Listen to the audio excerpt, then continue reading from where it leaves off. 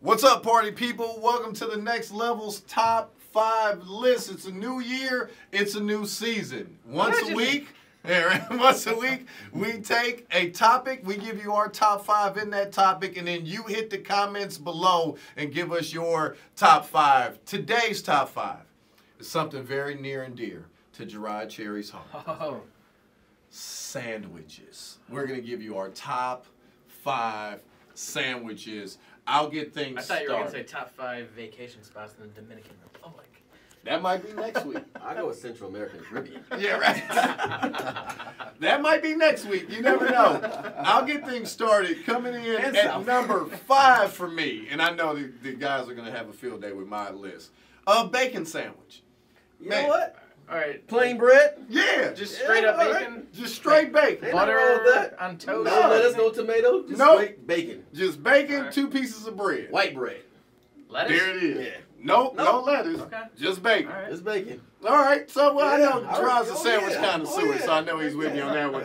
That's number five. Number four, my man grew up in Rocky River. I know he don't know nothing about this. Sugar sandwich.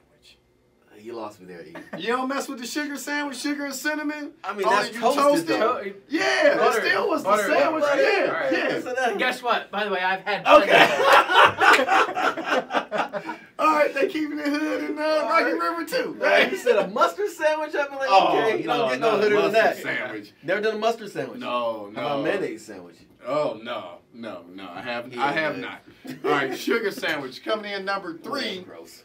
Peanut butter sandwich, not jelly, just peanut butter. Right, peanut butter jelly. sandwich. My OG crunchy. Yeah, okay. honestly. Toasted bread. Yeah, sure, crunchy. You ever try putting in a, a pan and heating it up? Try that. I could. I just like it butt naked, regular salt. I like my bread soft on a peanut butter sandwich. Uh, coming in at number two, grilled cheese. Grilled cheese sandwich is absolutely amazing. I love grilled cheese How'd you sandwich. make it? Uh, with cheese between two slices of bread See? and you toast it. Put a little mustard on a, on a grilled cheese sandwich. Oh. Lord, mustard I'm on telling the you, grilled cheese. don't knock it till you try it. I'm not gonna. Game changer. What about the butter? Well, yeah, of course. Okay, It's a grilled you cheese can't sandwich. cook it That's I without said. How you make it? So Like you make a grilled cheese sandwich. Why am I spray Pam on there and put it in there? I've seen that. By the way, what before. is your list like? Uh, like if you have like three dollars in your bank account sandwiches? I'm not a big sandwich. Yeah, exactly. See, you know what I'm saying? It always comes out. Right. He's like, I eat nothing but the finest sandwiches. you'll see, yeah. Right. What's up with your Yeah. cheap sandwiches? Uh, and then finally, number one for me, a spicy sausage sandwich.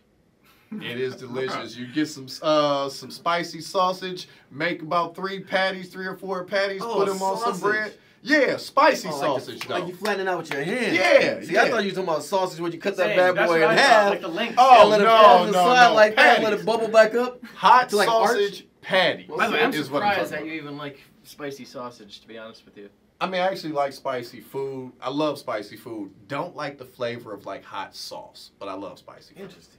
Yeah. So that's my top five. Who's up next? Well, yeah, I'll Gerard, go. you gotta go. Gerard, last, we, 'cause we, might- we might need a whole separate. Uh, Right. You I know, don't got that many. Right. I'll go. Coming in at number five for me, classic sausage, egg, and cheese sandwich. My favorite Okay. breakfast sandwich. Can't go wrong with that. Um, you know, it- the homemade version I feel like are the best. By the way, I don't, I don't know why. Maybe it's just the fact that like you actually made it and it tastes better. But sausage, egg, and cheese at number five. Number four, the exact sandwich that I'm going to get when we're done recording this, turkey provolone sandwich. Like the Italian bread for this one, um, a little mustard, mayo on this, but a turkey provolone. It's like that's my go-to sandwich. You guys have seen me bring a turkey provolone sandwich in here, like literally Like four every days a day. week. Pretty much every lunch I Eat have. the wheat bread with true. little nuts on it. Yeah, yeah, exactly. Uh, the the Dave's super bread. Number three for me, fried chicken sandwich. I mean, you, you can't go wrong with this, no matter where you get it from. It's very hard to mess up, but when you get a good one, there's almost nothing better than a fried chicken sandwich. It could be spicy, it could be regular, doesn't matter. Fried chicken sandwich come in at number three for me. And number two, we are in Cleveland, right? Last time I checked, corned beef sandwich. Number two for me. On So some rye cliche. bread. Put So some cliche. cheese on there. The Slyman's, Joe's Deli, all those spots. They got the bomb corned beef sandwich at number two for me. At number one, the GOAT.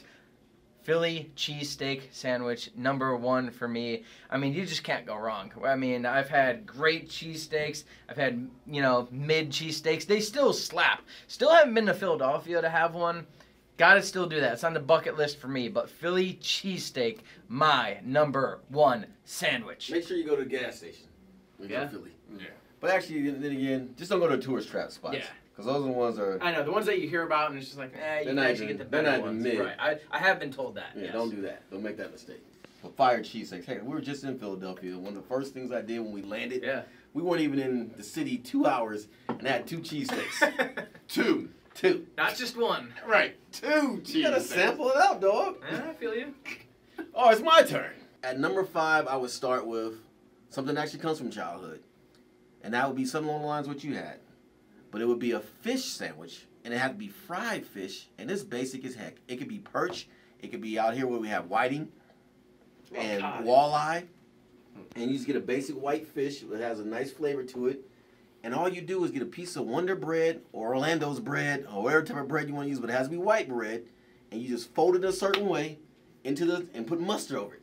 And that's all it is. It's just called a basic fish sandwich. One of the best things going. But you gotta fry the fish. It can't be grilled fish and it can't be stewed fish. It has to be fried fish.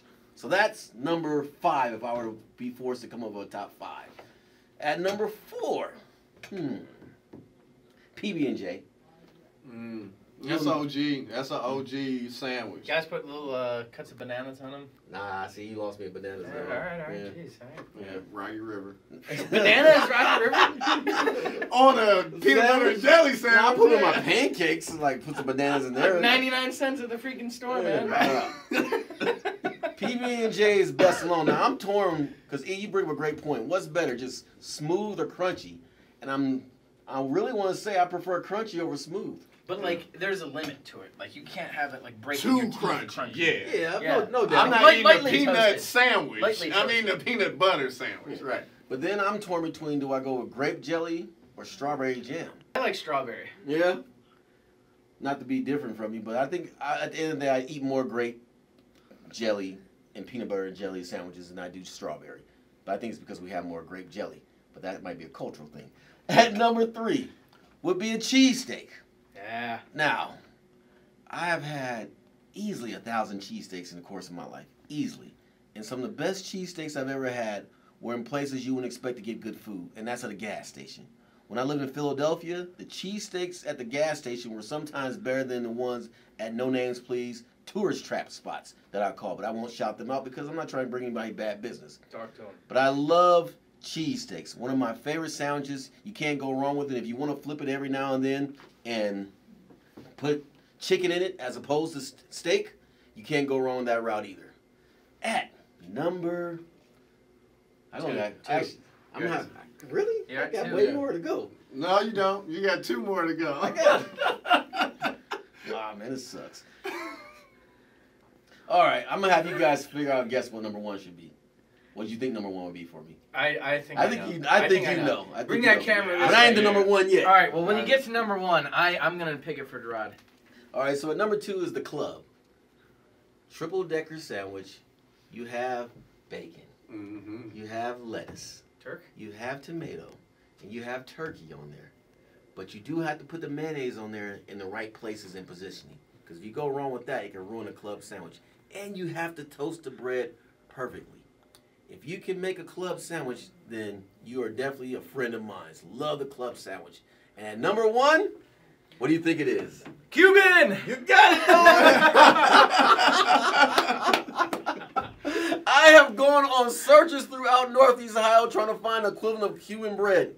And I have adapted, I have adjusted to where I'll take hot dog buns, toast them bad boys, and it gives me a close encounter, if you will, to Cuban sandwiches or bread rather that you get in South Florida. Yes, I go out my way for that sandwich, and there's variations with it. You can go with ham, you can go with pork loin, you can go with roast beef and pork and ham, you can go with turkey and roast beef and ham. There's so many ways you can do it, but at the end of the day, you better have the special type of bread, and you gotta have mayo, and you have to have, I use Munster, but you can use provolone, and also you have to have pickles on it as well, Yeah. along with mustard. And there you go, folks. That is somewhat my top five, because there's much more. And there it is, our top five sandwiches. Hit the comments below. Give us your top five sandwiches. Also, like and subscribe if you haven't done that yet. Until next week, we'll see you on the flip side.